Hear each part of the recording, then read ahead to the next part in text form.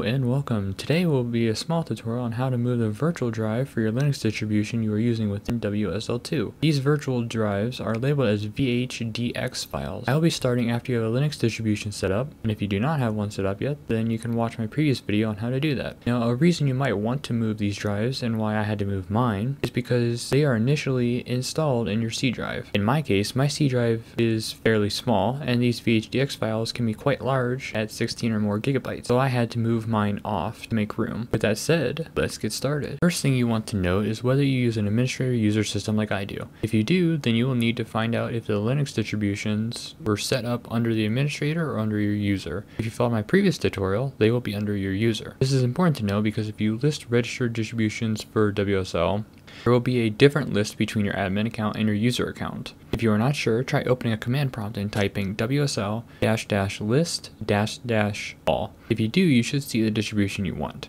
Here I have one command prompt open under my admin and the other as my user. You can see that Ubuntu underscore M is not registered under my admin account, but it is my user account. Whichever prompt shows the distribution will be the one that you want to use in the next part, as the other prompt will not have your Linux distribution set up within it, so it will not know where to find the VHDX file. Now to move the distribution, first go to a drive that has enough room to hold it. For example, my distribution is 17 gigabytes, so I had to go to another drive since my C drive did not have 17 gigabytes available at the time when I moved it. It only had 10 gigabytes. So when you export, it exports to a tar file, and if there's no room, then that will fail. Then you will want to type WSL dash dash export and then the distribution name you want to export then the file name you want that export to go into. In my case, I exported Ubuntu, so my distribution name was Ubuntu, and the file name I chose was also Ubuntu.tar. So that is what I typed in. Next, you want to create a directory that you want the VHDX file to be placed in when you re-import. I named mine Ubuntu underscore distro. Finally, you want to type WSL dash dash import the new distribution. So in my case, Ubuntu underscore M. The M is for the drive that it is in. The folder you want the VHDX file to be imported into, so in my case ubuntu underscore distro. And then finally the tar file name, in my case it was just ubuntu.tar.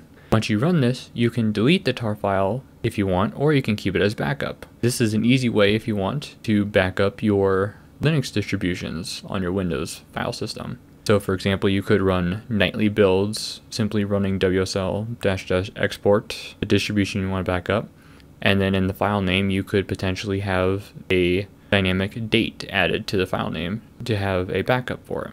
Once you have it imported, you are technically done and you could stop here and start working. However, there are some housekeeping things we want to do. When you relist all your distributions, you will see Ubuntu and Ubuntu underscore M now. You could leave the original, but for me I had to remove it because it was taking up too much space on my C drive and causing my computer to crash occasionally because it slowly ate up more space over time. I first had to set Ubuntu underscore M as the default, as the default distribution is always running in the background, so it can never technically be shut down.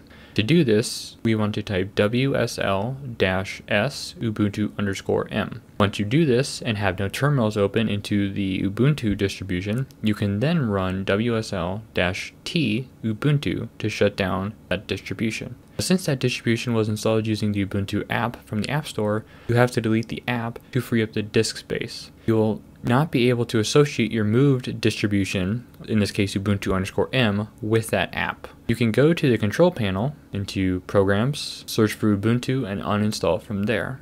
To enter into Ubuntu underscore M distribution, similar to how you did with the Ubuntu app, you will want to run WSL dash D ubuntu underscore m and then dash user dash u user which in my case my user is Corey so I would do dash u Corey you could even create a batch script to be able to run that command easier just by clicking on the batch script to run it. There's also an option to pass one-off commands to this distribution.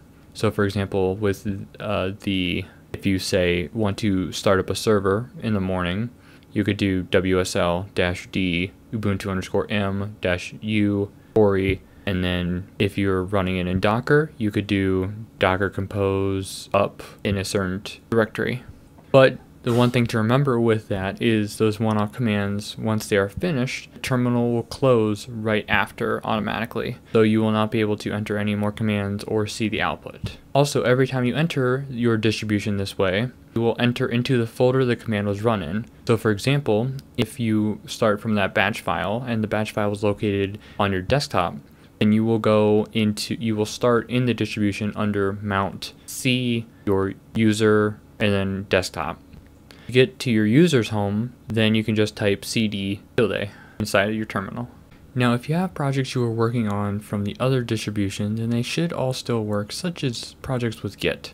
However, Docker is different. Docker Compose was linked to a security file that may become unlinked, as mine did, which will make it so you could not build containers.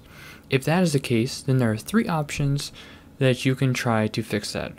One is to run the following command, which I will have in the description so you can copy and paste it.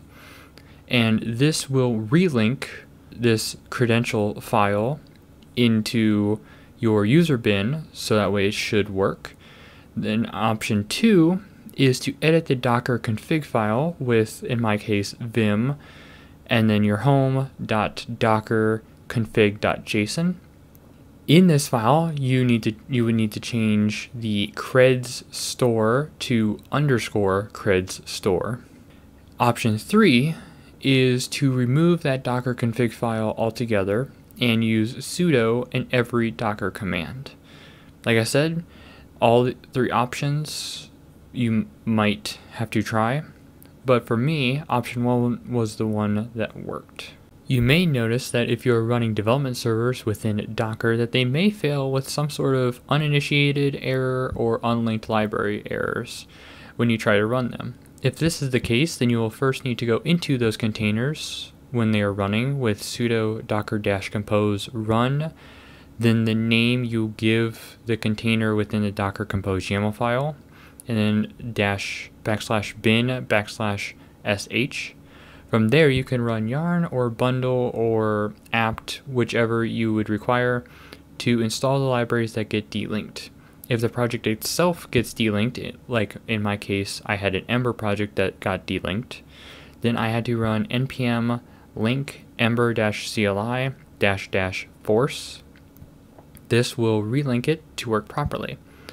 After that, as an example of a library that then got delinked, uh, from the Ember project.